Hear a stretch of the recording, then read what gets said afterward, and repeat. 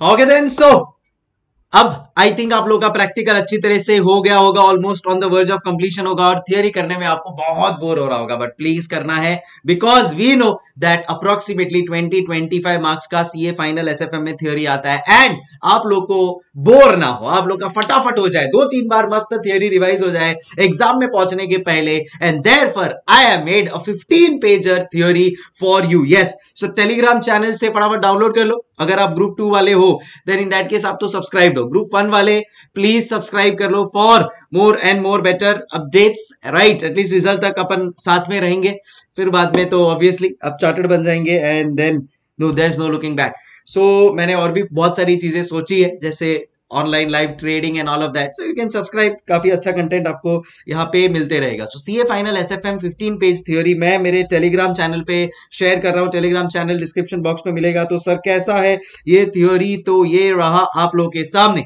Fifteen pages sir एक chapter approximately एक एक दो दो पेजेस में। मेन जो भी अपने चैप्टर है securitization startup finance yes startup finance के बाद risk management and then security analysis. And then, yes yes yes yes. And then financial policy and corporate strategy. तो सब आ गया आपको इसके अलावा और कुछ भी करने की ज़रूरत नहीं है। प्लस जो अपने बाकी चैप्टर्स है, जो प्रैक्टिकल ओरिएंटेड चैप्टर्स है, उन लोग का भी मैंने यहाँ पे थ्योरी ले लिया जो मुझे लग रहा है कि आ सकता है। So that you can just quickly go through अगर मुझे ये फटाफट एक रिकैप करवाना है, क्या बोलते हो? करवा दूँ? चलो आओ करवा देते हैं। पहले फटाफट कमेंट कर दो कि ऑडियो वीडियो ऑल वेल बराबर है? यस सर एकदम बराबर है। वैसे ये लाइव नहीं है, ये रिकॉर्डेड आपको बोर्ड पे मिल रहा है बट आदत हो गई है लाइव के बाद ये करने की। बट यस डेफिनेटली आप लोग ये कमेंट ज़रूर करना कि कैसा लग रहा आप लोग को ये नोट्स प्लस जो फॉर्मूला का नोट्स दिया था and all of that and और आप लोग की कुछ चीज़ें होगी तो भी बताना। फ़िलहाल मैं स्टार्ट कर रहा हूँ सिक्योरिटाइजेशन के ऊपर से। सो सिक्योरिटाइजेशन का मतलब क्या होता है? तो बैंक होता है। बैंक के पास बहुत सारे एसेट्स uh, होते हैं। तो देखो एकदम फटाफट मैं क्विक फायर रिवीजन रखूँगा because I know your time is important and जितने भी ये पेजेस है, अपने को क्विकली एकदम इसको कंप्लीट करना है। तो सिक्योरिटाइजेशन का मैं आप लोगों को प्रोसेस बता देता हूँ बिकॉज़ एक बार वो प्रोसेस समझ गए, उसके बाद में उससे रिलेटेड कोई भी थ्योरी आया तो you will be able to manage it तो क्या है सबसे पहले सिक्योरिटाइजेशन का मतलब? तो होना हुआ क्या? बहुत सारे जो बैंक है, वो लोग ने अपना लोन देना चालू किया। तो से फॉर एग्ज़ाम्पल मेरा एक बैंक है, जिसका नाम है आईसीआईसीआई बैंक मेरे पास 500 करोड़ रुपए थे। ये 500 करोड़ का मैंने लोन दे दिया। ठीक है? हर तरह का लोन दिया। से फॉर एग्ज़ाम्पल मैंने होम लोन भी दिया ऑटो लोन भी दिया, जो मेरे पास पॉसिबल था, वो सारा का सारा लोन मैंने दे दिया। अब हुआ क्या कि ये 500 करोड़ मेरे खत्म हो गए बट लोन मांगने वाले लोग खत्म नहीं हुए। तो हो क्या रहा है कि अब there are more customer who are coming to me and telling कि हमारे को और भी लोन चाहिए। बट लोन देने के लिए पैसा चाहिए। अपने पास तो यहाँ पे पैसा है ही नहीं। अपना तो पैसा खत्म हो गया अपन ने तो सब लोन पे दे दिया है। तब एक महान आदमी को, एक फाइनेंशियल एनालिस्ट को एक दिमाग में आया कि यार ये जो मैंने लोन दिया है, ये लोन के सिक्योरिटी में मैंने सारे के सारे लोन के ऊपर एक पेपर्स ले लिए। अगर आप लोगों को पता होगा तो सिर्फ़ फॉर एग्जांपल अगर ऑटो लोन इनकम इस बैंक ने दिया है तो कहना इसे ऑटो के पेपर्स बैंक के पास पड़ा है। बराबर है? अगर बैंक ने होम लोन दिया है तो होम के सारे मॉडगेज पेपर्स अपने पास पड़े बिज़नेस लोन दिया है तो बिज़नेस के सारे जो पेपर्स है वो अपने पास पड़े तो ऐसे इतने सारे पेपर जो अपने पास पड़े हैं, क्यों ना इन पेपर्स को यूटिलाइज किया जाए? आज की तारीख में ये सारे के सारे जो पेपर्स है, वो एक अलमीरा में सबके सब बंद है। बराबर है? And they are as good as in liquid assets because मेरा 800 500 करोड़ जो भी था मेरे पास, वो 500 करोड़ तो मैंने दे दिया है।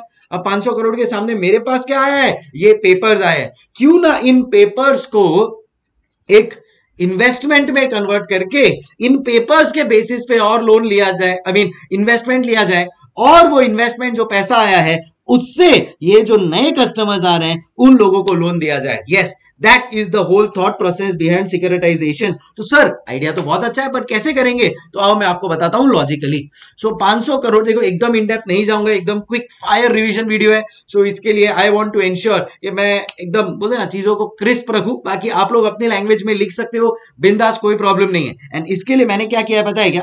मैंने यहाँ पे हर एक चीज़ का हेड पॉइंट लिख लिया है। बिकॉज़ अंदर का तो वैसे भी अपने को याद नहीं रहता है। तो मैंने जितने भी चैप्टर्स है सबका यहाँ पे मैंने हेड पॉइंट्स लिख लिया है बिकॉज़ एक जगह पे आप लोग के पास हेड पॉइंट्स अवेलेबल हो जाएगा।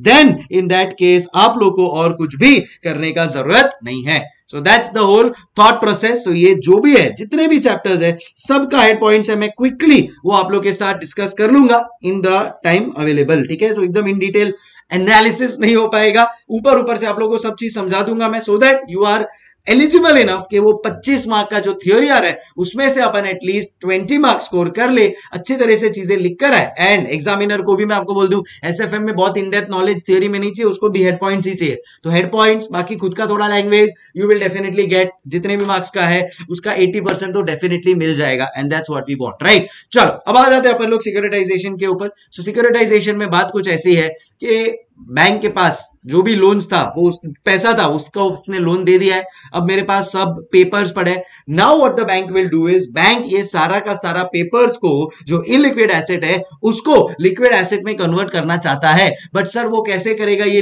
इलिक्विड एसेट को लिक्विड एसेट में कन्वर्ट तो उसके लिए बैंक एक नया एंटिटी फॉर्म करेगा, जिसको नाम दिया है एसपीवी स्पेशल पर्पज व्हीकल तो ICICI bank ICICI bank will now form a new special purpose vehicle जो ये काम के लिए ही अपन लोग बनाने वाले हैं। तो आईसीआईसीआई बैंक ये एसपीवी स्पेशल पर्पज व्हीकल को सेटअप करेगा। ये स्पेशल पर्पज व्हीकल क्या करेगा पता है क्या? एक क्रेडिट रेटिंग एजेंसी के पास जाएगा। और ये क्रेडिट रेटिंग एजेंसी को जाके बोल देगा कि भाई क्रेडिट रेटिंग एजेंसी सुन, हमारे पास इतने सारे लोन के पेपर्स पड़े हैं।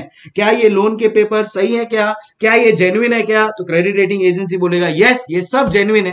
अब ये क्रेडिट रेटिंग एजेंसी ये जितने भी लोन के पेपर्स है, इसके बेसिस पे कुछ ट्रेंचेस बनाएगा। क्या बनाएगा? Again I am telling short में समझा रहा हूँ ध्यान से समझ लो।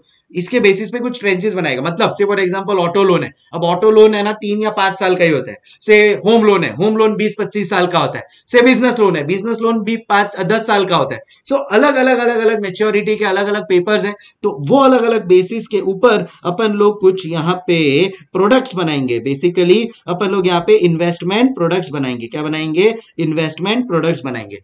अब ये जो भी पेपर्स है कहना इसे ये सिक्योरिटी है जेन्युइन है, ये तो वो क्रेडिट रेटिंग एजेंसी ने चेक कर लिया है। ये पेपर्स लेकर जाकर मैं इन्वेस्टर को दूँगा और इन्वेस्टर को बोलूँगा कि भाई देखो, मेरे पास ये सारे पेपर्स है। क्या आप इस पेपर के बेसिस पे मुझे इन्वेस्टमेंट दोगे क्या? ऑब्वियसली सामने मैं आपको इंटरेस्ट दूँगा। तो इन्वेस्टर बोलेगा कि हाँ यार सिक्योर हो गया। हम लोग, भाई, आज आदमी अगर किसी को भी पैसा देता है देन इन दैट केस उसका सबसे बड़ा टेंशन क्या होता है कि यार पैसा रिटर्न आएगा कि नहीं? तो अब ये इन्वेस्टर को टेंशन फ्री हो गया क्योंकि उसको पता है कि yes there are genuine papers and credit rating agency का काम ही यही है। उसने देख लिया कितना जेन्युइनिटी है। जितना पेपर्स का अच्छा वैल्यू है, उतना इंटरेस्ट अपन कम दे सकते हैं बिकॉज़ बोलते ना, जितना बेटर रेटिंग है, उतना इंटरेस्ट उस चीज़ का कम होता है। और कुछ हमारे ऐसे भी लोन्स होंगे जिसका इतना अच्छा पेपर्स नहीं है, उनके ऊपर अपन ज़्यादा इंटरेस्ट दे सकते हैं और अपन लोग उनसे इंटरेस्ट ज़्यादा ले भी नहीं ले भी रहे होंगे। सो so, अब यहाँ क्या हो रहा है? क्रेडिट रेटिंग एजेंसीज ये पेपर्स को साथ में लेगा समझ लेगा और अब इस बंडल करके अब इसको अनबंडल करेगा और इसके अलग अलग प्रोडक्ट्स बनाएगा। ये प्रोडक्ट अपन जाके इन्वेस्टर को देंगे और इन्वेस्टर को दिखाएँगे और बोलेंगे कि भाई देखो ये जेन्युइन हम लोग के पास यहाँ पे पेपर्स है। क्या इस बेसिस पे आप इन्वेस्ट करना चाहेंगे? इन्वेस्टर बोलेगा यस आपके पास तो आप मेरे को सिक्योरिटी दे रहे हो तो इन्वेस्टर से अपन पैसा ले लेंगे।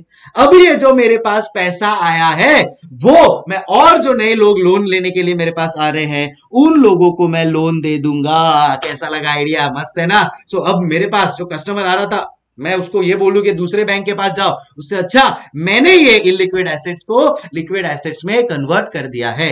अब होगा क्या, पता है क्या? यहाँ पे जब मेरे पास ये जो 500 करोड़ वाले जो लोग हैं ऑटो लोन वाले होम लोन वाले बिज़नेस लोन वाले, ये जैफे जैफे मुझे पैसा देते जाएँगे, वो पैसा मैं इन्वेस्टर को देते जाऊँगा। उसका मेरे पास यहाँ पे इंटरेस्ट आएगा। मैं सामने मेरे इन्वेस्टर को इंटरेस्ट दे दूँगा। है कि नहीं? यहाँ पे मेरे पास से प्रिंसिपल रीपेमेंट आएगा। मैं मेरे इन्वेस्टर को प्रिंसिपल रीपेमेंट कर दूँगा। इससे कहना इससे सबका काम हो गया, ठीक है ना? मेरे को एडिशनल फंडिंग चाहिए था टू गेट मोर कस्टमर्स तो कहना इसे वो मेरे पास आ गया है।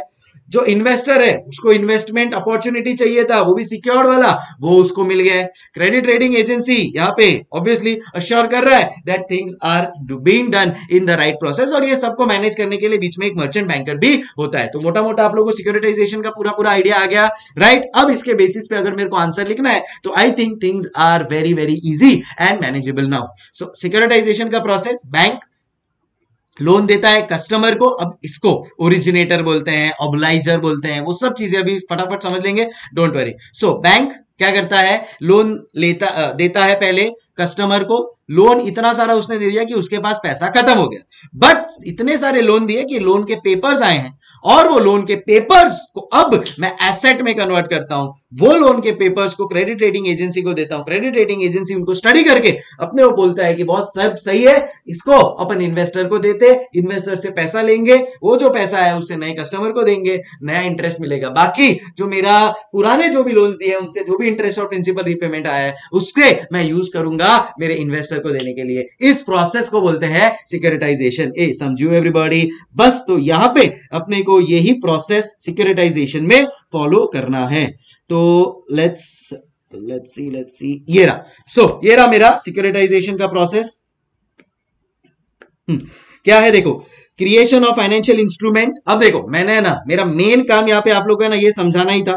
अब मैं बहुत ज़्यादा डिटेलिंग में नहीं जाने वाला बिकॉज़ मेरे को एकदम क्रिस्प वीडियो रखना है बिकॉज़ आई वॉन्ट कि एटलीस्ट आप दो से तीन बार ये थियोरी को आपके मेन एग्ज़ाम सेंटर पे पहुँचने के पहले कर ले। पंद्रह पेज का ये थियोरी रखने का एक ही रीजन है दैट इससे आपका दो तीन बार रिविजन हो जाए एंड मैंने सारा का सारा थियोरी जितना भी आपके मॉड्यूल का थियोरी है, उसका जितना भी मेन मेन पॉइंट्स है ना, सब इसमें कवर कर लिया है, ठीक है? अब पंद्रह पेज है तो फटाफट भी हो जाएगा और अपने को टेंशन भी नहीं रहेगा किसी चीज़ का। ठीक है? तो मैं क्विक फायर लेवल पे अभी आप लोग को एकदम बता देता हूँ। लॉजिक मैंने आप लोग को बता दिया इसका। अब थोड़ा अपन फास्ट वे में कर लेंगे। बाकी आप लोग अपने लैंग्वेज में लिख सकते हो। आई होप इस लेवल तक अभी उतना आप लोग का प्रिपरेशन हो गया होगा। सो so, सबसे पहला है मेरा क्रिएशन ऑफ़ फाइनेंशियल इंस्ट्रूमेंट्स हाँ सबसे पहला है मेरा क्रिएशन ऑफ़ फाइनेंशियल इंस्ट्रूमेंट तो देखो अब मेरा एक नया फाइनेंशियल इंस्ट्रूमेंट क्रिएट हो गया नया इन्वेस्टर हो गया एसपीवी क्रिएट हो गया है बंडलिंग एंड अनबंडलिंग पहले मैंने जितना भी मेरे पास था लोन का पेपर उसको बंडल किया और फिर अलग अलग अलग अलग, मैंने ट्रेंचेस में, उसको बोलते हैं ट्रेंचेस में उसको अनबंडलिंग किया। कहाँ पे होता है ट्रेंचेस यहाँ पे। ये जब मैं, ये ये जो मेरे लोन पेपर्स है ना, इस लोन पेपर्स को अब अलग अलग प्रोडक्ट्स में मैं बनाऊँगा। ठीक है ना? जिसको कम टाइम के लिए इन्वेस्ट करना है, उसको ऑटो लोन का पेपर्स का एक ट्रेंच बना के दे देंगे। जिसको लंबे टाइम के लिए इन्वेस्ट करना है, उसको होम लोन का एक ट्रेंच बना के दे देंगे। समझू? So that's how it is done so उसको बोलते हैं बंडलिंग एंड अनबंडलिंग फिर बाद में आता है tool of risk management so I think काफ़ी अच्छी तरह से रिस्क मैनेज हो गया है। मेरा जो इन्वेस्टर है, वो भी रिस्क फ्री है, उसको भी लग रहा है कि यार सिक्योर चीज़ मिल रही है। स्ट्रक्चर्ड वे में फाइनेंस हो गया है ट्रेंचिंग आप लोगों को मैंने समझा दिया होमोजेनिटी मतलब जिसको जैसा लोन चाहिए, उस हिसाब से मैं एक ट्रेंच बनाऊँगा और उसको दे दूँगा। होमोजेनिटी का मतलब होता है ऑफ़ सेम थिंग ठीक है ना? तो सेम चीज़ को बोलते हैं होमोजेनिटी तो जैसा जैसा इन्वेस्टर का प्रेफरेंस है, उसको वैसा मैं बंडलिंग करके देता जाऊँगा। चलो नेक्स्ट के ऊपर आ जाते हैं अपन लोग। बेनिफिट्स ऑफ़ सिक्योरिटाइजेशन तो from the angle of originator तो सबसे पहले आप लोगों को समझना होगा ओरिजिनेटर कौन होता है? तो ओरिजिनेटर अपना बैंक ओरिजिनेटर अपना बैंक तो ये जो मेन आईसीआईसीआई बैंक था वो कौन था मेरा? ओरिजिनेटर फिर होता है एक ऑब्लाइजर वो होता है मेरा मेन कस्टमर जिससे जिसको मैंने लोन दिया। फ़िलहाल ओरिजिनेटर जो मेन वर्ड है उसके ऊपर ध्यान देते हैं। सो so, ओरिजिनेटर मेरा है ये बैंक बैंक तो सबसे ज़्यादा खुश हो गया बिकॉज़ उसने अपने बैलेंस शीट को टच भी नहीं किया और उसके पास एडिशनल फंडिंग आ गया। भाई, मैंने तो मेरे बैलेंस शीट को कुछ भी नहीं किया, ये तो ऑफ़ बैलेंस शीट फंडिंग हो गया ना। ठीक है ना? मैंने जो भी पेपर्स था, वो खाली मैंने क्रेडिट रेटिंग एजेंसी को दे दिया। उसने बंडलिंग अनबंडलिंग करके नया इन्वेस्टमेंट कर दिया। ये सारा काम हुआ मेरे नए एसपीवी के सेटअप के through so we are doing something called as off balance sheet funding भाई हाँ। क्या बोलते हैं इसको? ऑफ़ बैलेंस शीट फंडिंग फिर बाद में क्या बोला देखो। More specialization in the main business अभी देखो मेरे को फिर बाद में मेरे मेन बिज़नेस के ऊपर फोकस करना है एसपीवी मेरा बाकी का सारा काम कर लेगा। मेरे फाइनेंशियल रेशियोज भी बेटर हो जाएँगे बिकॉज़ अब मेरे पास फंड्स भी आ गए एट द सेम टाइम मैंने कोई चीज़ डायल्यूट भी नहीं की है। बोरोइंग कॉस्ट भी ओवरऑल बेस पे रिड्यूस हो जाएगा बिकॉज़ सी मेरे को जो लोन uh, मैंने दिया है उस पर जो इंटरेस्ट मिल रहा है एंड जो मैं सामने इन्वेस्टर को दूँगा उसमें थोड़ा मैं एक डिफरेंस रखूँगा so that I tend to gain from the angle of investor investor भी खुश। डाइवर्सिफिकेशन ऑफ़ रिस्क तो उसने भी एक नए इंस्ट्रूमेंट में इन्वेस्ट कर दिया है। रेगुलेटरी रिक्वायरमेंट के हिसाब से है, उसको तो एक सिक्योरिटी भी मिल गया है। एंड डिफ़ॉल्ट का भी चांस नहीं है बिकॉज़ क्रेडिट रेटिंग एजेंसी है क्रेडिट एनहेंसर्स है, इतने सारे लोग हैं यहाँ पे। अच्छा इसमें अभी देखो प्राइमरी पार्टिसिपेंट्स कौन होता है? एक होता है ओरिजिनेटर जो मेन बैंक है एसपीवी एसपीवी में ही तो ये सब ट्रांजेक्शन हो रहा है और तीसरा है मेरा इन्वेस्टर और फिर साथ में सेकेंडरी इन्वेस्टर जैसे ऑब्लाइजर्स है तो मैंने बोला, आपको ऑब्लाइजर्स कौन है? जो मेरा मेन कस्टमर है, जिसको मैंने 500 करोड़ का पहले लोन दिया था, वो मेरा ऑब्लाइजर है। ठीक है ना? अभी ये सब वर्ड्स आप लोगों को क्लिक होते जाएँगे बिकॉज़ अपना वो पूरा फाइनेंशियल ट्रांजेक्शन पूरा अपने को क्लियर है। राइट गाइस फिर बाद में होता है, इसमें यहाँ पे एक रेटिंग एजेंसी बिकॉज़ ये रेटिंग एजेंसी जब तक अप्रूव नहीं करेगा, तब तक I can not make the tranches फिर receiving and paying agent who will work on our behalf agent और ट्रस्टी एक ट्रस्टी ट्रस्ट फॉर्म करना पड़ेगा सो so दैट कहीं पे भी कोई फाइनेंशियल फ्रॉड ना हो जाए।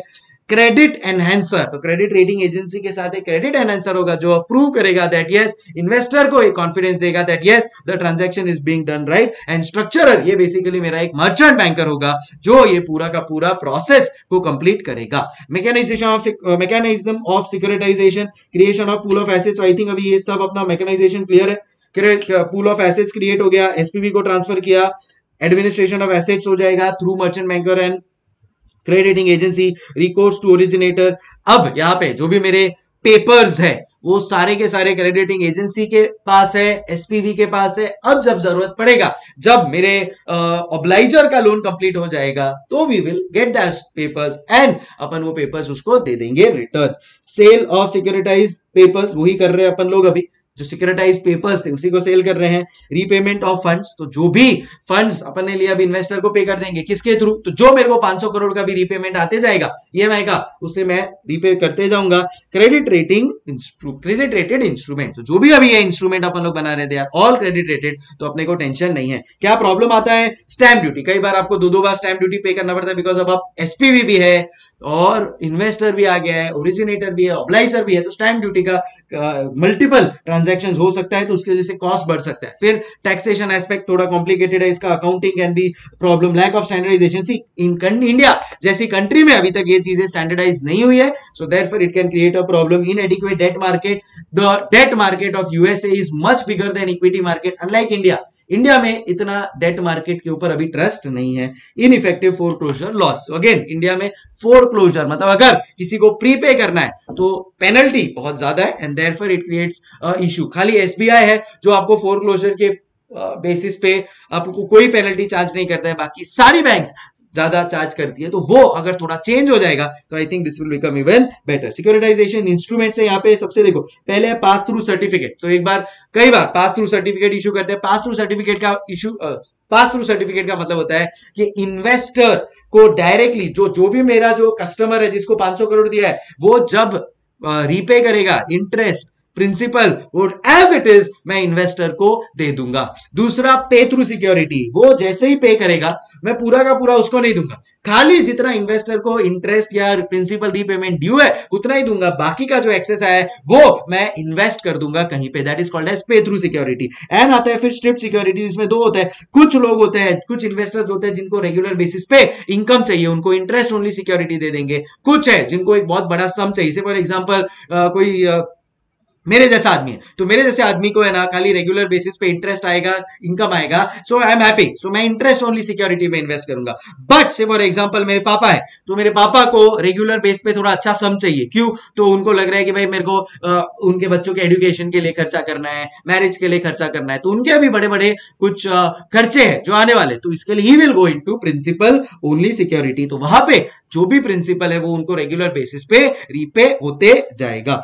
And pricing of the securitize instrument originator उस हिसाब से प्राइसिंग रखेगा कि भाई उसका जो आउटफ्लो होने वाला है, वो कवर हो जाए। इन्वेस्टर उस हिसाब से रखेगा कि भाई उसका जो एक्सपेक्टेड फ्यूचर कैश फ्लो है ईल टू मेच्योरिटी जो उसको चाहिए, वो उसको मिल जाए। नाउ ये चैप्टर में जो भी आप लोग का आप अपना मॉड्यूल खोल लो। नहीं, आप खोल लो मॉड्यूल और मॉड्यूल में देख लो। सारे जो भी मेन मेन पॉइंट्स थे, वो सारे मैंने यहाँ पे कवर कर लिया आई हो आप लोगों को समझ में आ रहा होगा। कीप कमेंटिंग सो दैट मुझे मोटिवेशन आते रहेगा for making more such videos next next next फिर बाद में आ जाता है मेरा startup finance startup finance is as good as मेरा जो भी है शार्क टैंक इंडिया एंड मैं तुम लोग को जानता हूँ, तुम लोग सब लोग शार्क टैंक इंडिया देख चुके हो। अश्नीर ग्रोवर अमन गुप्ता जो सीए है नंदिता जो सीए है, वो सबके कारण। तो आप लोग को ये चैप्टर समझने में, समझाने में ज़्यादा टाइम नहीं जाएगा फटाफट। Some of the innovative ways to finance a startup so क्या क्या, कैसे आप फाइनेंस कर सकते हो? तो भाई, एक तो भाई, खुद का जो पैसा है, वो लगाओ। या फिर आपका कोई फ्रेंड फ्रेंड है फैमिली एंड फ्रेंड्स है, वो लोग के पास ले लो। थोड़ा पर्सनल क्रेडिट ले सकते हो। पियर टू पियर लैंडिंग मतलब फ्रेंड से आप ले सकते हो। या फिर आपके सेम इंडस्ट्री में कोई लोग है, उनसे आप लोग थोड़ा पैसा ले सकते हो। क्राउड फंडिंग अगर आप लोग को बताओगे ये मिलाप डॉट ओ और ये सब क्राउड फंड करते हैं मतलब फेसबुक पे आप लोग ने ऐड देखा होगा कि भाई if you want you can contribute उसको बोलते हैं क्राउड फंडिंग क्राउड फंडिंग का मतलब मेरे पास एक आइडिया है और मेरे को वो बिज़नेस के लिए पैसा चाहिए तो मैं इंटरनेट पे डाल दूँगा फेसबुक पे इंस्टाग्राम पे that yes you can become a part of my company you can fund it I will give you share और हम एक दूसरे को जानते नहीं है तो फिर भी ये चीज़ हो जाती है. That is called as crowd funding micro loan छोटे छोटे लेवल पे लिया जाता है. फैक्टरिंग अकाउंट्स uh, रिसीवेबल तो अगर कोई कंपनी है जिसके पास बहुत सारे अकाउंट्स रिसीवेबल्स पड़े तो वो जाके एक फैक्टर को दे सकता है। तो से फॉर एग्जांपल सौ रुपए का मेरे पास अकाउंट रिसीवेबल है मैं जाके एक फैक्टर को दूँगा तो वो फैक्टर बोलेगा भाई सौ में से नाइनटी फाइव मैं तेरे को दे देता हूँ। पाँच मेरा कमीशन अब वो सौ रुपए मैं रिकवर कर लूँगा। जो सौ रुपए उसको मिल गए उसमें से मैंने उसने मुझे नाइनटी फाइव दिया पाँच रुपए उसका कमीशन इज़ हैप्पी पर मेरा तो काम हो गया तो वो जो अकाउंट रिसीवेबल है जो इसका पैसा मेरे को दो साल बाद आना था बट मुझे अभी ज़रूरत है तो वो मेरा काम यहाँ पे हो जाएगा। वेंडर फाइनेंसिंग तो कई बार आप, आपके जो वेंडर है, जो सप्लायर है, उसको बोल सकते हो कुछ फाइनेंस करने को। परचेज ऑर्डर फाइनेंसिंग तो परचेज ऑर्डर से फॉर एग्जांपल आपको रिलायंस से कुछ परचेज ऑर्डर आ गया तो वो परचेज ऑर्डर लेके जाओगे आप बैंक के पास और बोलोगे, भाई देख रिलायंस का परचेज ऑर्डर है रिलायंस का रिलायंस ने मुझे परचेज ऑर्डर दिया है तो उसके बेसिस पे भी आपको लोन मिल सकता है। सो ये कई तरीके हैं innovative ways to finance a startup right फिर बाद में है नेक्स्ट प्रिच प्रेजेंटेशन तो अभी अगर आपको शार्क टैंक इंडिया ने बुलाया। तो आप कैसे अपने आप को प्रेजेंट करोगे तो आप, आप पहले अपना खुद का इंट्रोडक्शन दोगे टीम के बारे में बताओगे क्या प्रॉब्लम को आप चेंज करना चाहते हो? अगर आप लोगों ने पीयूष बंसल को सुना होगा तो he always says I am looking for a business which is solving some problem तो क्या प्रॉब्लम है जिसका आप सोल्यूशन ला रहे हो? मार्केटिंग सेल्स में आपका क्या है? क्या प्रोजेक्शन या माइल पहुँचा है आपका? कि भाई आपने कितना आपका रन रेट कितना है? आप लोग सुनते हो लास्ट तीन साल में कितना सेल्स किया है? दो साल में। तो वो income statement cash flow statement balance sheet है। कंपटीशन को आप कैसे टैकल कर रहे हो? आपका बिज़नेस मॉडल क्या है? एंड फाइनेंसिंग के आपके तरीके क्या है? ये आप पिच प्रेजेंटेशन में बेसिकली डिस्कस करते हो। फिर बाद में आ जाता है आप लोग का modes of financing for startup तो तीन मोड्स है। सबसे पहले बूट स्ट्रैपिंग ये भी वर्ड सुना होगा आप लोग ने। बूट स्ट्रैप का मतलब है खुद से फाइनेंस रेज करना। आज की तारीख में सबसे बेस्ट यूनिकॉर्न जो बूट स्ट्रैप है, वो है ज़ीरो दा ज़ीरो दा आप लोग ने सुना होगा। निखिल कामत, नितिन कामत की कंपनी है। They are totally bootstrap and at the same time they are also profitable तो बूट स्ट्रैप का मतलब होता है खुद के पैसे से कोई भी बिज़नेस अब आप सेटअप करते हो. That is called as bootstrapping अब उस बूट तो अभी ये देखो, ये वर्ड मैंने समझा दिया है। अब खुद के लैंग्वेज में लिख कर आओ। राइट सीट मतलब खुद से आप लोग ने फंड करके कोई बिज़नेस चालू किया, उसको कहते हैं बूट स्ट्रैपिंग समझे? फिर बाद में आ जाता है आपका ये तीन part trade credit factoring and leasing तो अभी ट्रेड क्रेडिट बूट स्ट्रैप वाला जो बंदा है वो कई बार ट्रेड क्रेडिट का ज़रूरत पड़ता है। तो अगर मेरे को कोई चीज़ बिज़नेस करना है तो मैं मेरे क्रेडिटर को बोलूँगा कि, सर, थोड़ा मुझे क्रेडिट एक्स्ट्रा दे दो। फैक्टरिंग अगर मेरे पास अकाउंट रिसीवेबल है तो वो मैं जाके डिस्काउंट करवा के पैसा रेस कर लूँगा। या फिर लीजिंग तो कई बार मैं बहुत ज़्यादा इन्वेस्टमेंट नहीं करूँगा मशीनरी के ऊपर उससे अच्छा उसको मैं लीज कर लूँगा। फिर बाद में होता है एंजल इन्वेस्टर एंजल इन्वेस्टर का मतलब होता है इनिशियली जब मुझे आ, कोई बिज़नेस स्टार्ट करना है तो मैं किसी फंडिंग वाले कंपनी के पास जाऊँगा विद एक्सपेक्टेशन कि भाई ठीक है थोड़े टाइम में उनको मैं रिपे कर दूँगा और उनकी भी एक्सपेक्टेशन ये नहीं होती है कि बहुत ज़्यादा उनको प्रॉफिट चाहिए। तो ये होता है angel funders and venture capital fund जिनके बारे में भी अपन लोग डिटेल में पढ़ने वाले हैं। तो Sequoia capital is one of the best venture capital fund जिसने इंडिया में काफ़ी सारी कंपनीज़ में इन्वेस्ट किया हुआ है। तो वेंचर कैपिटल ऑब्वियसली एक पर्टिकुलर टाइम के लिए इन्वेस्ट करते हैं। They have expectation of earning huge return अगर आप लोगों को बताओ तो जोमेटो नाइका पेटीएम ये सारे ये लोग ने जो लिस्ट किया है ना ये इन्होंने वेंचर कैपिटल फंड को रीपे करने के लिए। भाई वेंचर कैपिटल फंड बोलता है कि मेरे को ये दस साल के अंदर टेन ट्वेंटी टाइम पाँच साल के अंदर ट्वेंटी टाइम्स रिटर्न चाहिए। ठीक है? और IPO is the best way to convert all your funding into best return ठीक है? सो so, उन्होंने उस हिसाब से वर्किंग होता है। तो वेंचर कैपिटल फंड को पैसा चाहिए क्विक टाइम में। But at the same time वो आपके आइडिया में तब इन्वेस्ट करेगा जब कोई आपके ऊपर विश्वास नहीं कर रहा है। That's the risk that they are taking so Paytm में जब इन्वेस्ट किया था वेंचर कैपिटल ने, तब थोड़ी ना उसको पता था कि इतना ह्यूज लेवल पे आ जाएगा। या फ्लिपकार्ट है, या जोमेटो है, ये सब कंपनीज़ में वेंचर कैपिटल ने ऐसे टाइम पे इन्वेस्ट किया था जब इंडिया में कोई स्टार्टअप कल्चर नहीं था और तब इतना स्कोप है, वो पता भी नहीं था। सो लेट्स सी क्या अभी यहाँ पे venture capital is generally finance new and rapidly growing companies purchase their equities shares कोई भी नया प्रोडक्ट डेवलप करना है, उसमें वो हेल्प करते हैं through active participation venture capitalist का एक लॉन्ग टर्म होराइजन होता है यूजुअली ऑफ़ फाइव इयर्स अगर आपके पास लैक ऑफ़ लिक्विडिटी है then you can go to venture capital उनके पास बहुत सारा पैसा है। सो so, इनके पास कभी लैक ऑफ़ लिक्विडिटी नहीं होती है। They are risk takers but they believe in equity participation फिर बाद में आ जाता है यहाँ पे advantages of bringing venture capital is सबसे बेस्ट बॉस वो लोग के पास जो नॉलेज है वो लोग फंडिंग लाके दे सकते हैं और भी। वो लोग के पास कनेक्शन है आइडिया लेकर आ सकते हैं।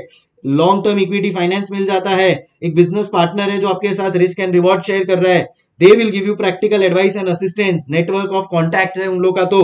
पब्लिक आईपीओ के लिए अगर आपको जाना है तो again it may be very very helpful additional funds of round of funding चाहिए तो भी आप कर सकते हो by bringing a venture capital in your industry stages होते हैं, अगर आपको सीड मनी चाहिए सीड मनी मतलब एकदम जस्ट मेरे को एक आइडिया आया है तो और मेरे को पैसा चाहिए, उसको कहते हैं सीड मनी बट बहुत ज़्यादा एक्सट्रीम लेवल का रिस्क होता है उसमें.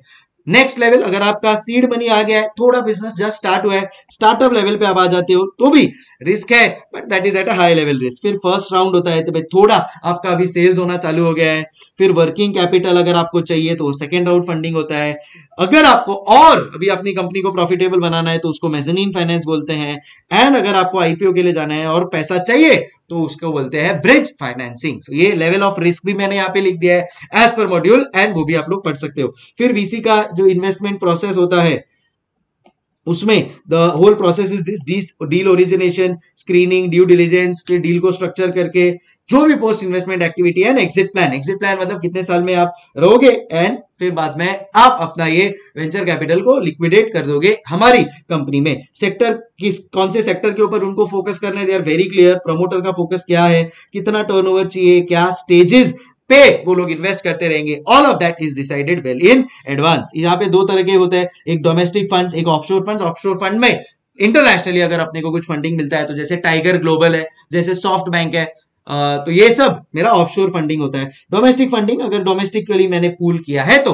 सो so ये मेरा हो गया इसी के साथ chapter startup finance I hope we are clear and फटाफट आप लोगों को चीज़ें समझ में आती जा रही है, मज़ा आते जा रहे हैं। नेक्स्ट के ऊपर चल रहा हूँ मैं that is called as risk management identification of types of risk face by an organization तो ये भी काफ़ी इजी चैप्टर है, इसमें वार के ऊपर प्रैक्टिकल सम आ सकते हैं, वो आप लोग अलग से कर लेना। अब यहाँ पे क्या क्या है, देखो strategic risk compliance risk operational risk financial risk so कोई भी कंपनी के चार तरह के रिस्क होते हैं, और वो चार तरह के रिस्क में फाइनेंशियल रिस्क को और पाँच तरह में डिवाइड किया है counterparty risk political risk inter interest rate risk currency risk liquidity risk अभी देखो, यहाँ पे ये चीज़ें आपको खाली ध्यान में रखनी है मेन मेन पॉइंट बाकी अंदर का तो आप लोग यार कुछ भी लिख कर आओ ना, क्या टेंशन है? स्ट्रेटेजिक रिस्क में होता है कि भाई देखो, जियो ने जैसे एक स्ट्रेटेजिक रिस्क लिया था, क्या? कि भाई वो फ्री में सब लोग को उसने स्टार्टिंग में अपना बांट दिया। अब वो टाइम पे उसने अगर फ्री में बांटा और लोगों ने नहीं लिया होता तो उसके लिए एक स्ट्रेटेजिक रिस्क है। तो आपने कोई स्ट्रेटेजी बनाया? If that does not work then it becomes a strategic risk for you compliance risk कई बार गवर्नमेंट के कंप्लायंस के हिसाब से अगर आपने नहीं चले then in that case it becomes a problem जैसे वोडाफोन आइडिया तो उनको टैक्स अप्रोक्सीमेटली दस दस हज़ार का टैक्स भरने को आ रहा है बिकॉज़ उन्होंने कंप्लायंस के हिसाब से टैक्स पे नहीं किया। ऑपरेशनल रिस्क अगर आप लोग का जो ऑपरेशन है, वो बंद हो जाए तो। से फॉर एग्ज़ाम्पल यहाँ पे operational risk was faced by Kodak तो कोडैक को एक बहुत बड़ा operation strategic risk was taken by Nokia तो नोकिया स्मार्टफ़ोन इंडस्ट्री में बहुत लेट आया तो उन्होंने एक स्ट्रेटेजिक रिस्क लिया। Operational risk was paid by Kodak तो डिजिटल जब यहाँ पे कैमराज आ रहे थे, तब वो लोग, उन्होंने वो चीज़ को नहीं लाए so that was a operational risk right and then फिर फाइनेंशियल रिस्क इसमें बहुत सारी रिस्क आते हैं। जैसे पहला है मेरा काउंटर पार्टी रिस्क तो काउंटर पार्टी रिस्क का मतलब काउंटर पार्टी ने अगर पैसा देने से इंकार कर दिया तो इंसॉल्वेंट हो गया तो वो काउंटर पार्टी रिस्क है। पॉलिटिकल रिस्क से फॉर एग्जांपल मैं आज की तारीख में सारा का सारा इंपोर्ट कर रहा हूँ चाइना से। और कल अगर एक मुझे आवाज़ सुनने को मिलती है, मित्रों इंडिया के चाइना के साथ संबंध अच्छे नहीं है। आज से इंडिया का इंपोर्ट और एक्सपोर्ट विद चाइना बंद। तो मेरे तो रस्ते लग जाएँगे। मैं बोलूँगा, अरे भाई मैं तो चाइना से पूरा इंपोर्ट कर रहा हूँ तो वो एक पॉलिटिकल आपको रिस्क है। इंटरेस्ट रेट रिस्क ऊपर नीचे होते रहता है। सो so, अगर आपने बहुत ज़्यादा लोन लिया है so it can become a risk for you currency risk अगर आपका इंपोर्ट एक्सपोर्ट है तो currency obviously is a risk for you and last में है लिक्विडिटी रिस्क तो भाई अब इनफ पैसा होना चाहिए। बहुत सारे स्टार्टअप बंद हो जाते हैं ये लिक्विडिटी रिस्क की वजह से बिकॉज़ उनको फंडिंग मिलता है but they are not able to secure enough inflows तो ये आपके सारे रिस्क है, इसमें से जितना याद रहे, याद रख के लिखकर आ जाना। स्ट्रेटेजिक कंप्लायंस ऑपरेशनल फाइनेंस उसके अंदर counter party political interest rate currency risk and liquidity risk चलो नेक्स्ट के ऊपर चलते हैं। इवेल्युएशन ऑफ़ फाइनेंशियल रिस्क ये जो इवेल्युएशन ऑफ़ फाइनेंशियल रिस्क है, इसमें सबसे पहले मेरे को देखना है stakeholders point of view के हिसाब से कि भाई देखो स्टेक होल्डर जो है ना, उसको बहुत टेंशन रहता है कि यार जो हम लोग कंपनी ने बहुत ज़्यादा डेट ना ले लिया। बिकॉज़ अगर बहुत ज़्यादा डेट ले लिया और कंपनी लिक्विडेट होगी ना तो पहले डिवेंचर होल्डर को रीपे करेंगे। तो वो थोड़ा शेयर होल्डर को टेंशन रहता है। Company point of view by excessive borrowing ना होना चाहिए लिक्विडेट ना हो जाए हमारी ये कंपनी किंगफिशर के जैसी। And government point of view के भाई देखो, अगर बैंक या फाइनेंशियल इंस्टीट्यूशन में बंद हो गई then in that case government को उनको फिर बेल आउट करना पड़ता है, जैसे लिमेन ब्रदर्स के केस में हुआ था। फिर बाद में एक नया कॉन्सेप्ट है आप लोग के लिए वैल्यू एट रिस्क बहुत सही है। वैल्यू एट रिस्क बताता है कि भाई, आपका जो पोर्टफोलियो है, आपने जो सिक्योरिटी में इन्वेस्ट किया है उसको एवरी डे डाउनग्रेड होने का कितना चांसेस है। सो so, यहाँ पे वर्स्ट केस सिनारियो आपने को देखना है लॉस पर डे कितना हो सकता है। सो so, ये सब चीज़ के लिए आपका कैलकुलेशन बहुत स्ट्रॉन्ग होना चाहिए। तो फीचर्स ऑफ़ वैर में कि भाई कितना टाइम पीरियड है, कितना कॉन्फिडेंस लेवल है कि आपका मैक्सिमम इससे ज़्यादा लॉस नहीं होगा। स्टेटिस्टिकल मेजर स्टैंडर्ड डिविएशन के बेसिस पर अपन लोग करते हैं। वन डे का loss one week one month ये आप आपके क्लाइंट को पहले से बोल के रखोगे, भाई देखो, आपने इन्वेस्ट किया मेरी कंपनी में या मेरे पोर्टफोलियो में तो you will face this maximum risk कितना प्रोबेबिलिटी ऑफ़ है ये लॉस होने का रिस्क अपन लोग कैसे उसको कंट्रोल कर रहे हैं? All of these are features of war कैसे आप इसको अप्लाई करते हो? सो so, इससे आपको पता चलता है मैक्सिमम पॉसिबल लॉस आपको कितना हो सकता है। Benchmark for performance measurement so आपका परफॉर्मेंस आप इससे मेजर कर सकते हो। Fix limit for individual dealing ये बहुत जगह पे होता है कि बस इससे ज़्यादा अगर लॉस नहीं होना चाहिए तो आप इससे ज़्यादा डील नहीं करोगे। अगर उनको लग रहा है कि भाई से पचास लाख के ऊपर डील किया तो आपको दस लाख के ऊपर इसका लॉस हो सकता है तो पचास लाख बोलेगा। इससे ज़्यादा आपको डील नहीं करना enable management to decide the trading strategies and asset manage asset and liability management के लिए भी वैर को यूज़ किया जाता है कि भाई कितना मेरा लाइबिलिटी एट रिस्क है। फिर बाद में आ जाते हैं यहाँ पे जो counter party risk political risk interest rate risk currency risk जो मैंने बताया था उस वो कैसे आपको पता चलेगा कि भाई देखो मेरा यहाँ पे काउंटर पार्टी रिस्क हो रहा है। सो so, अगर नेसेसरी रिसोर्सेज नहीं हो रहे प्रोजेक्ट कंप्लीट नहीं हो रहा है रेगुलेटरी रिस्ट्रिक्शन आ गए hostile action of foreign government आ गया तो ये सब चीज़ की वजह से आपको काउंटर पार्टी रिस्क हो सकता है, इसको आप कैसे मैनेज कर सकते हो? पहले ड्यू डिलीजेंस कर लो, भाई जो काउंटर पार्टी है वो सही आदमी है कि नहीं है? ओवर एक्सपोज मत करो अपने आप को किसी चीज़ मतलब ऐसा नहीं कि भाई आपका नेटवर्थ है दस करोड़, उसमें से आठ करोड़ आपने किसी एक पर्टिकुलर पार्टी के ऊपर फोकस कर दिया। तो वैसा मत करो ओवर एक्सपोज मत करो। परफॉर्मेंस गारंटी एक बार इंश्योरेंस आप लोग को करवा लेना चाहिए। पॉलिटिकल रिस्क अपने सबको बताए कि भाई कुछ भी रेसिडेंट इन्वेस्टर्स है करेंसी इश्यूज़ है फॉरेन एसेट्स कुछ अगर एक्सप्लोइट हो रहे हैं सो ये सब चीज़ है फॉर एग्ज़ाम्पल मेरा फॉरेन में अगर कुछ एसेट्स है and there is a war with that country then in that case वो asset is a risk for me so इसके लिए आप जितना हो सकता है लोकल लोगों से लो ज्वाइंट वेंचर में काम करो लोकल फाइनेंसिंग करो तो टेंशन नहीं रहेगा। Interest rate risk again monetary policy of the government economic growth ये सब चीज़ों के ऊपर डिपेंडेंट है। फिर लास्ट है मेरा करेंसी रिस्क तो currency risk again government action के ऊपर बेस्ड है। इंटरेस्ट रेट इन्फ्लेशन के ऊपर बहुत ज़्यादा मेरा करेंसी का फ्लक्चुएशन होता है। नेचुरल कैलामिटीज की वजह से ऊपर नीचे हो सकता है। So all of this war rebellion ये सब की ऊपर मेरा करेंसी रिस्क बेस्ड है। So, अगर आता है क्वेश्चन तो we have to write this in the exam चलो नेक्स्ट चैप्टर के ऊपर आते हैं that is my security analysis चलो सो नेक्स्ट चैप्टर है मेरा सिक्योरिटी एनालिसिस सो यहाँ पे फंडामेंटल एंड टेक्निकल एनालिसिस होता है तो फंडामेंटल एनालिसिस मतलब जो यूजुअली एक चार्टर्ड अकाउंटेंट करता है that we get into the depth of the knowledge of the company company का बिज़नेस कर रहा है कंपनी का आगे स्कोप क्या हाँ कंपनी का आगे बिज़नेस में स्कोप क्या है and all of that and दूसरा होता है टेक्निकल एनालिसिस जिसको ये सबसे कोई लेना देना नहीं है। जी हाँ उसको ये market sentiments and human behaviour के बेसिस पे उसके प्रिडिक्शन के बेसिस पे जब वो ट्रेडिंग करते हैं, उसको बोलते हैं टेक्निकल एनालिसिस तो ये देखो फंडामेंटल एनालिसिस आपका डिविडेंड ग्रोथ को स्टडी करेगा इकोनॉमिक एनालिसिस इंडस्ट्री कंपनी सब चीज़ को। से फॉर एग्जांपल अभी इंडिया में इलेक्ट्रॉनिक व्हीकल्स का बहुत स्कोप चालू है तो ईवी वैसी वाली कंपनीज़ में अपने को इन्वेस्ट करना चाहिए। तो मैंने क्या किया? इंडस्ट्री को एनालाइज किया इकोनॉमी को एनालाइज किया कि भाई देखो इंडिया के जो ट्रांसपोर्ट मिनिस्टर है, नितिन गडकरी, उनका मैंने कमेंट सुना कि yes we want to promote the electric vehicles ठीक है? कंपनी का एनालिसिस क्या कि कंपनी से Tata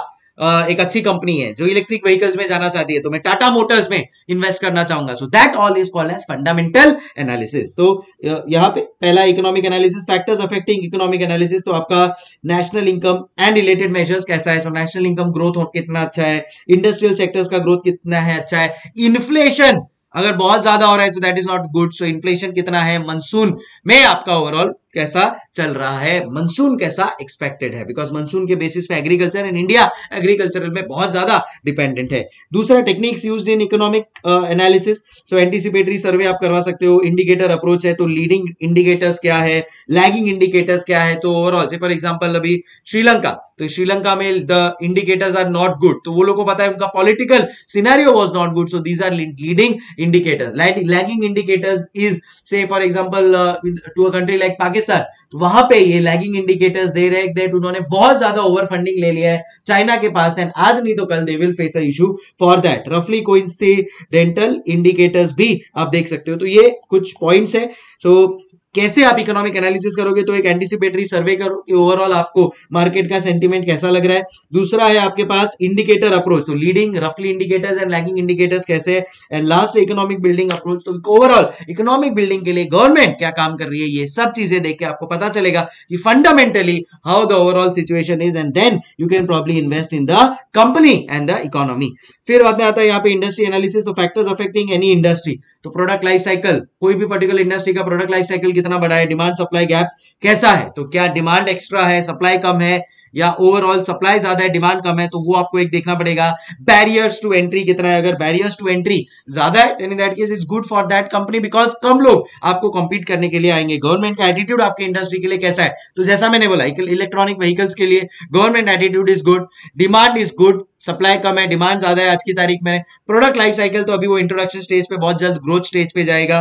State of competition in the industry तो इतना कॉम्पिटेटिव नहीं है industry so all of that technology and research is again at a good level तो यहाँ पे आपको ये चीज़ ध्यान रखने के लिए you can remember electronic vehicle का एग्ज़ाम्पल एंड इलेक्ट्रिक व्हीकल का example and you will be able to remember this technique use for analysing industry wide factors regression and input output analysis ठीक है, इतना इंपॉर्टेंट नहीं है। Company analysis qualitative and quantitative measures पे आप कैसे करोगे? कंपनी का नेटवर्क क्या है?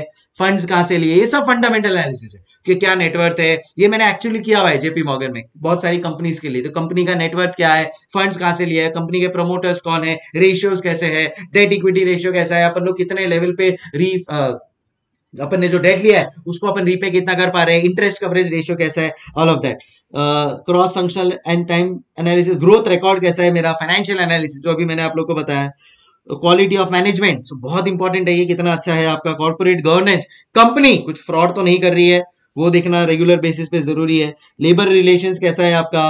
Marketability of the share so ये सब बेसिस पे आप डिसाइड करोगे that the company is doing good और not and then you will basically invest फिर बाद में आ जाता है techniques used in company analysis को रिलेशन रिग्रेशन एनालिसिस है trend Analysis and decision tree analysis ये बेसिस पे आप एक एनालिसिस भी अपना प्रोवाइड कर सकते हो। फिर बाद में आते हैं अपन लोग टेक्निकल एनालिसिस के ऊपर। इसमें है principles of technical analysis so ये बोलता है कि भाई देखो टेक्निकल एनालिसिस क्या बोलता है कि प्राइस मूव्स इन ट्रेंड तो वो पूरा ट्रेंड का ही गेम है। हिस्ट्री रिपीट इटसेल्फ तो उन्होंने कोई पर्टिकुलर ट्रेंड देखा है, उन्होंने कोई पर्टिकुलर एक बिहेवियर देखा है, उस बेसिस पे वो लोग डिसीज़न लेते हैं। बहुत सारी थियोरीज है डाउ थियोरी तो डाउ थियोरी क्या बोलता है कि तीन तरह के मूवमेंट होते हैं। एक twelve months to thirty six month वाला, उससे आपको बुलिश या पेरिश ट्रेंड ओवरऑल बेसिस पे आपको से फॉर एग्जांपल पता चल जाएगा।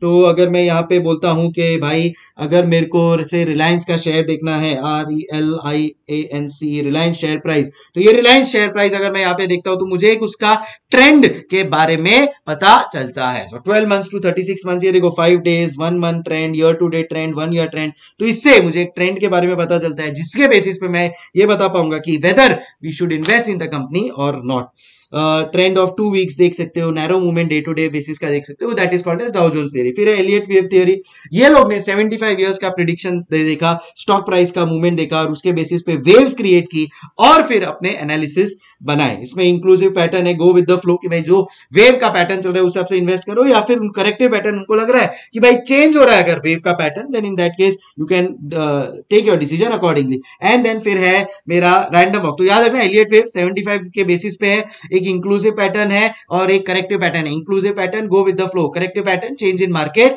movement अगर आपको लग रहा है तो। सो so ये आप लोग यहाँ पे लिख सकते हो। And then random walk theory है। रैंडम वॉक थ्योरी बोलता है कि यार शेयर प्राइजेस का कोई प्रिडिक्शन नहीं है कि वो जो भी चेंजेस हो रहा है वो एक स्टैटिस्टिकल बेसिस uh, पे आप पास डेटा को एनालाइज करो स्टैटिस्टिक्स मिलेगा वो स्टैटिस्टिक्स के बेसिस पे आप इन्वेस्ट करो।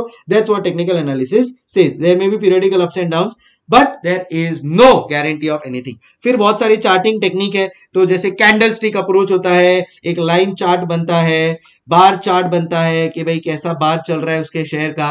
फिर कैंडल स्टिक अप्रोच होता है तो कैंडल स्टिक यहाँ पे एक बनता है।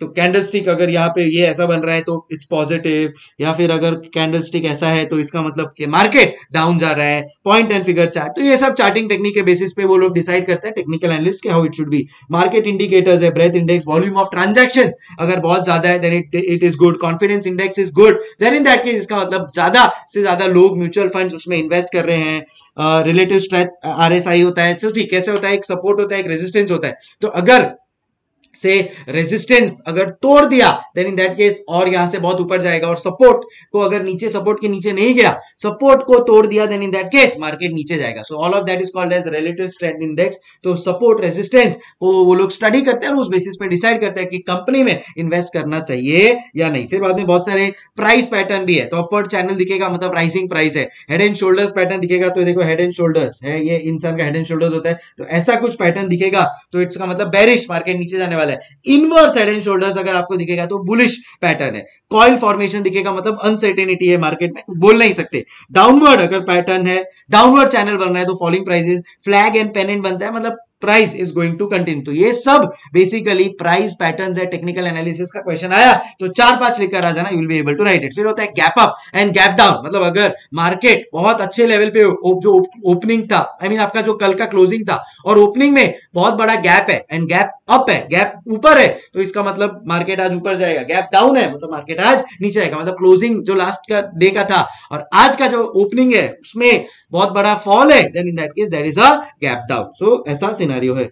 Decision using data analysis moving averages exponential moving averages से रिलेटेड सम्स भी है, वो आप लोग देख सकते हो। फंडामेंटल एंड टेक्निकल एनालिसिस क्या है, वो मैं आपको बता चुका हूँ कि भाई जहाँ पे आप कंपनी को एनालाइज करते हो मैक्रो फैक्टर्स कंपनी का GDP inflation interest growth rate sales profitability ये सबको जब एनालाइज करके आप इन्वेस्ट करते हो एज अ चार्टर्ड अकाउंटेंट आप ये सब यूज़ करोगे। You are doing fundamental analysis और आप खाली बेसिस प्रिडिक्शन के बेसिस पे हिस्टोरिकल डेटा के बेसिस पे जा रहे हो देन वॉल्यूम के बेसिस पे जा रहे हो then in that case you are doing technical analysis दोनों के अपने अपने पॉजिटिव है नेगेटिव है। यहाँ पे price of share discount everything price captures everything तो उनका मानना है जो भी मूवमेंट हो रहा है, वो चीज़ के बेसिस पे आप प्रिडिक्शन कर सकते हो। लॉन्ग टर्म इन्वेस्टिंग में ऑब्वियसली ऑलवेज फंडामेंटल एनालिसिस काम आएगा। शॉर्ट टर्म के लिए yes technical analysis is the best फिर बाद में there is something called as efficient market hypothesis तो उसमें जो मेन चीज़ है, वो मैं आप लोगों को बता देता हूँ। तो इसमें तीन तरह के फॉर्म होते हैं। एक होता है weak form of efficiency semi strong efficiency and strong form of efficiency weak form of efficiency में price reflect all the information of past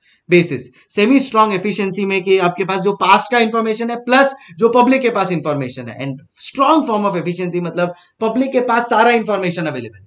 तो इंडिया देखो India is in semi strong level कि आपके पास पास्ट का भी data है और public के पास जो इंफॉर्मेशन होना चाहिए, वो है आपके पास. समझ रहे हो? फिर स्ट्रॉन्ग फॉर्म ऑफ़ एफिशिएंसी जो डेवलप कंट्रीज़ है, जैसे अमेरिका और यूके यूरोप ये सब, जिनके पास पास्ट भी डेटा है प्रेजेंट भी डेटा है पब्लिक का भी डेटा है प्राइवेट डेटा भी है तो आपके पास सब इंफॉर्मेशन डेटा अवेलेबल है तो स्ट्रॉन्ग फॉर्म ऑफ़ एफिशिएंसी है। और ये जो अंडर डेवलप्ड कंट्रीज़ है इनका वीक फॉर्म ऑफ़ इनके पास खाली पास डेटा है पब्लिक का भी कोई इंफॉर्मेशन नहीं है प्राइवेट भी इंफॉर्मेशन नहीं है तो यहाँ पे वोलेटिलिटी बहुत ज़्यादा होता है वीक फॉर्म ऑफ़ कंट्रीज़ में। सो so, मैं इसको under under developed developing develop countries के इकोनॉमीज के हिसाब से इसको रेट करता हूँ। फिर बाद में आ जाता है एम्पेरिकल एविडेंस तो इसके लिए अगेन ये तो प्रैक्टिकल चीज़ें serial correlation test run test filter rules test आप यूज़ कर सकते हो। Challenges to efficient market theory तो अगर आपके पास एडिक्वेट इन्फॉर्मेशन नहीं है प्रोसेसिंग नहीं इरेशनल बिहेवियर है या मोनोपोलिस्टिक इन्फ्लुएंस है तो आप नहीं यूज़ कर पाओगे। देन uh, ये चैप्टर है chapter one financial policy and corporate strategy more of strategic management का है। तो खाली आप अपने हिसाब से इसमें यहाँ पे लिख सकते हो। देखो टिपिकल चीज़ें top level management middle level management functional level management के लिए क्या स्ट्रेटेजी यूज़ करना चाहिए आपको? मैक्सिमाइज uh, वेल्थ ये टिपिकल चीज़ है, आपको सब जगह दिखेगी। रिसोर्स कॉन्स्टेंट में कैसे आप बेटर कर सकते हो। कॉम्पिटेटिवनेस कैसे कर सकते हो? सो आई थिंक ये chapter more of self read chapter so I think you can do that हाँ यहाँ पे जो एग्ज़ाम में आएगा, वो आएगा ये की decision within scope of financial strategy तो यही चारों आपको लिखने जाना है कि अगर आपको पूछा कि क्या डिसीज़न है, क्या की डिसीज़न है within scope of financial strategy तो यही चारों चीज़ें लिखनी है कि फाइनेंसिंग डिसीज़न आपका इन्वेस्टमेंट डिसीज़न कैसा होना चाहिए dividend decision portfolio decision should be taken in a proper manner financial planning अगर करना है तो यही तीन चीज़ आएगी. फाइनेंशियल रिसोर्सेज सही तरह से यूज़ करना है फाइनेंशियल टूल जो आपके रेशियोज है, वो बराबर से होना चाहिए financial goals should be in line with the objective corporate goals organisation sustainability के ग्रोथ आपका कैसा होना चाहिए? डिविडेंड कितना दोगे आप? लॉन्ग टर्म डेवलपमेंट कैसे करने वाले हो? All of that is a part of your organisational sustainability and growth three things for corporate level strategy suitability feasibility acceptability ये याद रखना पड़ेगा। एज इट इज़ अगर क्वेश्चन आता है तो आपको ये तीन चीज़ लिखकर आनी पड़ेगी। Ways to make organisation financially stable तो आपके पास एक से ज़्यादा सोर्स होना चाहिए, आपका अच्छा इमेज होना चाहिए वैल्यूज़ होने चाहिए फाइनेंशियली ऑटोनॉमी एंड इंडिपेंडेंस होना चाहिए। तो ये सब चीज़ें अगर आप करते हो then in that case you your organisation will become financially independent and stable फिर बाद में जो अपने टिपिकल चैप्टर्स है, जिसमें से प्रैक्टिकल क्वेश्चन ही आते हैं उसका अगर कुछ थियरी पूछना है तो वो भी मैंने लेके रखा है। तो एक एसेट एलोकेशन स्ट्रेटेजीज है, तीन तरह की हो सकती है। Strategic tactical and insured asset allocation valuation अगर रियल एस्टेट का करना है तो चार तरीके से आप कर सकते हो। सेल्स कॉम्प मतलब मार्केट में क्या बेसिस पे सेल्स हो रहा है तो उसके कंपेरिजन को बोलते हैं sales comp approach income approach के वो पर्टिकुलर रियल एस्टेट से कितना मुझे इनकम मिल रहा है कॉस्ट कितना लग रहा है कोई भी रियल एस्टेट खरीदने को। एंड अगर मैं लॉन्ग टर्म किसी रियल एस्टेट प्रॉपर्टी में इन्वेस्ट कर रहा हूँ तो आफ्टर टैक्स कैश फ्लोज उससे मुझे कितना मिल रहा है। फिर म्यूचुअल फंड में कॉन्सेप्ट आ सकता है साइड पॉकेटिंग तो क्या होता है कई बार म्यूचुअल फंड बहुत सारी जगह पे इन्वेस्ट करता है। उसमें से से फॉर एग्ज़ाम्पल नाइनटी परसेंट मेरा अच्छा है टेन परसेंट मेरा इन्वेस्टमेंट है वो थोड़ा ऐसी कंपनीज़ में चले गया जो अभी आ, बोलते हैं ना जिनका फाइनेंशियल इश्यूज़ हो रहा है। इसकी वजह से मेरा पूरा एनएवी खराब हो सकता है तो ये लोग क्या करते हैं कि इतना टेन परसेंट का जो है वो साइड कर देते हैं साइड पे रख देते हैं एंड बाकी जो एनएवी है that is only on the positive part जब ये जो साइड पे रखा है, वो अच्छा होना चालू हो जाता है, तब मैं इसको बाकी के फंड के साथ मर्ज कर देता हूँ। उसको कहते हैं साइड पॉकेटिंग फिर बाद में आता है ट्रैकिंग एरर तो एक होता है बेंचमार्क रिटर्न तो आपका जो कंपनी है, वो बेंचमार्क रिटर्न से कितना डिविएट हो रहा है, वो ये ट्रैकिंग एरर के थ्रू मेरे को पता चलता है। तो अगर आप लोग देखोगे तो D minus D bar square तो भाई कितना आप डिविएट कर रहे हो, एक एवरेज बेंचमार्क रिटर्न से is what is going to be given by the tracking error फिर बाद में इंटरेस्ट रेट मैनेजमेंट इसमें चार तरह के मेजरली स्वॉप होते हैं। Plain vanilla basic rate asset and amortising swap तो यहाँ पे एसेट जो देखो प्लेन वनीला स्वॉप होता है, उसमें तो भाई लोन के सामने लोन सो मेरे पास फिक्स रेट लोन है, सामने वाले के पास फ्लोटिंग रेट लोन है। मुझे फ्लोटिंग चाहिए, उसको फिक्स चाहिए we will create a swap asset swap में बेसिकली बॉन्ड्स का एक एक्सचेंज होता है। तो मेरे को एक पर्टिकुलर बॉन्ड चाहिए, उसके पास पर्टिकुलर बॉन्ड है। वो बेसिकली स्वॉप हो गया तो एक एसेट स्वॉप हो सकता है। उसमें इक्विटी स्वॉप भी आप कर सकते हो। तो मेरे को रिलायंस चाहिए उसको अडानी चाहिए। But we have different shares तो वो भी आप स्वॉप कर सकते हो। फीचर्स ऑफ़ स्वॉप्शन स्वॉप्शन का मतलब क्या होता है? अगर आप स्वॉप विद ऑप्शन डाल रहे हो तो से फॉर एग्ज़ाम्पल मेरे को थ्री मंथ का फिक्स्ड पीरियड का एक इंटरेस्ट चाहिए बट मेरे को लग रहा है कि I want a right for it तो उसको बोलते हैं स्वॉप्शन तो swap with option strategy is called as a swaption so यहाँ पे अगर आप स्वॉप में ऑप्शंस को भी इंक्लूड कर रहे हो। सो इंटरेस्ट रेट ऑप्शंस को भी आप इंक्लूड कर रहे हो और बोल रहे हो कि भाई देख, मेरा अगर पॉजिटिव रहा फॉर एग्ज़ाम्पल मुझे लग रहा है कि फिक्स रेट लेना चाहिए और मार्केट का इंटरेस्ट रेट बढ़ गया then in that case fix rate is good but अगर मार्केट का रेट नीचे गया और फिक्स रेट मेरे को नहीं चाहिए तो I will not exercise the right so option but for interest traded securities is called as swaption right so इसमें यूजुअली थ्री मंथ का एक पीरियड होता है।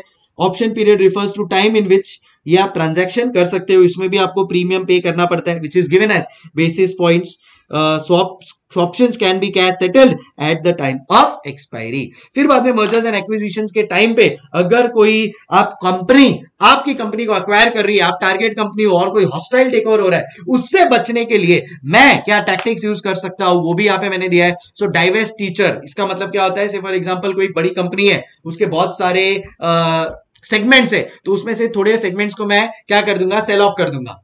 तो अभी जो सामने वाला टारगेट जो कंपनी था हॉस्टाइल टेक ओवर करने वाला था मेरे को उसमें से वो देखा कि पाँच छह कंपनी तो मैंने खुद बेच दिया। तो मैंने डाइवेस्ट कर दिया तो अब वो मेरी कंपनी को टेक ओवर नहीं करेगा। से फॉर एग्ज़ाम्पल अभी इसमें पॉइजन पिल तो जहाँ पे ट्विटर ने यूज़ किया था आ, इलॉन मस्क के अगेंस्ट में। तो पॉइजन पिल में क्या होता है? ये कंपनीज़ अपने ही कंपनीज़ में और बहुत सारे राइट शेयर्स इशू कर देंगे। तो उससे क्या हो जाएगा? Number of equity share holders बहुत बढ़ जाएँगे। और वो number of equity share holders बढ़ जाएँगे। उसके बाद उनका वोटिंग लेंगे अपन लोग। हो सकता है कि फिर वो इतने सारे इक्विटी शेयर होल्डर्स देखकर तो हॉस्टाइल टेक ओवर ना करें। फिर बाद में नेक्स्ट के ऊपर चलते हैं। क्राउन ज्वेल्स सो से फॉर एग्जांपल क्राउन ज्वेल्स का मतलब क्या होता है कि इसे टाटा सन्स को अगर कोई हॉस्टाइल टेक ओवर करने के लिए आ रहा है तो टाटा क्या करेगा? उसका जो मेन कंपनीज़ है टीसीएस टाटा मोटर्स वो किसी और को दे देगा। तो अपना जो क्राउन ज्वेल्स था मेन कंपनी है वही हमने किसी और को दे दिया। अब तुम टाटा सन्स क्या ही अक्वायर करोगे? फिर बाद में इधर देखिए ग्रीन मेल आप मेल कर सकते हो और सामने वाले को बोल सकते हो भाई we are not interested in the take over white knight ये भी आ, कुछ कंपनीज़ होते हैं व्हाइट नाइट और व्हाइट स्क्वायर सिमिलर ये व्हाइट नाइट का मतलब होता है कि आप आपके कोई फ्रेंडली कंपनी जो आपको खरीदने में इंटरेस्टेड नहीं है, उसको आप बोलोगे, नहीं, तू मेरे को ज़बरदस्ती खरीद ले या मेरा पार्ट खरीद ले। वो फ्रेंडली कंपनी को दे दोगे, अब आपका थोड़ा ही पार्ट बचा है। अब वो हॉस्टाइल टेक ओवर शायद ना करे। गोल्डन पैराशूट इसमें क्या होता है कि आप, आपका जो टॉप लेवल मैनेजमेंट है, उसको आप भर भर के रेम्यूनरेशन दोगे और बोलोगे, अगर टेक ओवर होता है then in that case management will get the top level of से करोड़ों रुपए का आपको कॉम्पेंसेशन मिल जाएगा। सब ऐसा करोगे तो वो सामने वाला तो खरीदेगा नहीं। उसको लगेगा कि यार, खरीद लिया। तो इतना सारा कॉम्पेंसेशन देना पड़ेगा। पैकमैन पैकमैन का मतलब होता है कि जब आप सामने वाले के ऊपर वो आपको खरीदने आ रहा है आप उसको बोलते हो कि नहीं, मैं तेरे को तो ट्विटर खरीदने को आ रहा है टेस्ला चल, मैं टेस्ला को ही खरीद लेता हूँ। तो आप एक काउंटर बिट दे देते हो। तो अगर काउंटर बिट दे दिया तो वो हॉस्टाइल टेक ओवर होने का चांसेस कम हो जाता है। सो ऑल इन ऑल ये जो बेसिकली इतना थियोरी मैंने कंपाइल किया है ट्राई किया है कि एकदम शॉर्ट में, बेस्ट मैं आपको एक्सप्लेनेशन भी दे दूँ। प्लीज़ ये वीडियो को एटलीस्ट दो तीन बार सुन लेना मेन एग्ज़ाम में जाने के पहले, इसमें से कुछ आ गया तो well and good will be able to score good plus आप इसको पूरा दो तीन बार गो थ्रू कर लेना आपके मोबाइल पे या जो भी आपके पास पीडीएफ है, अगर प्रिंट गया, जो भी लेते हो so that will really be helpful and please अभी देखो बॉस अच्छी तरह से अपना प्रिपरेशन हो गया है। Now time for us to give the best अच्छी तरह से एकदम काम माइंड में रहो, ठीक है? कैलकुलेटर एटलीस्ट एक से ज़्यादा ले लेना बिकॉज़ बहुत सारा कैलकुलेशन रहेगा। स्पीड अच्छा रखना। एस में पेपर छूटना नहीं चाहिए। मुझे ऐसा पर्सनली लग रहा है कि ये बार इंस्टीट्यूट थोड़ा अनएक्सपेक्टेड पेपर रखेगा। एस एफ़ एम पे मैं स्टार्टिंग से बोल रहा हूँ। So let's see how it works तो अब होगा, तब भी पता चलेगा। And all in all let's give our best अच्छा किया है अपन लोग ने। अब अपने को पीछे नहीं हटना है, ठीक है? स्टार्टिंग से स्पीड रखना, ये एक जनरल पॉइंट में आप लोगों को बोलना चाहूँगा। फॉर्मूलाज याद आए तो फॉर्मूलाज लिखना, नहीं आए तो कोई इतना लोड नहीं है। इट्स ओके okay, कोई टेंशन का बात नहीं है ठीक है? लॉजिक्स जितना स्ट्रांग हो उतना अपन लोग लॉजिक्स के बेसिस पे सॉल्व करना पेपर को। तो ज़रूरी नहीं है कि हर चीज़ फॉर्मूला याद रहे आपको। लॉजिक्स है उसके बेसिस पे भी सॉल्व कर कर आओगे कोई टेंशन नहीं है। Theory at least twenty five marks का आने वाला है वो सिक्योर कर लेना तो वो भी अपने को फिर अच्छा एक पुश मिल जाएगा ठीक है? चलो टाइम फॉर मीडू से आस्ता विस्ता प्लीज़ अच्छी तरह से लिख कर आना paper do share your comments कैसा लगा आप लोग को ये video in terms of theory and everything and मिलता हूँ मैं बहुत जल्द. Take care give your best bye